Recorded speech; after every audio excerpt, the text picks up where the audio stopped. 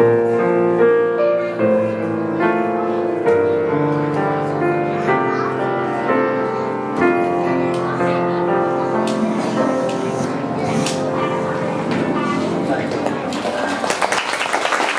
phần thi diễn của bạn và tiếp tục chương trình Proud of You vẫn sẽ là bài dự thi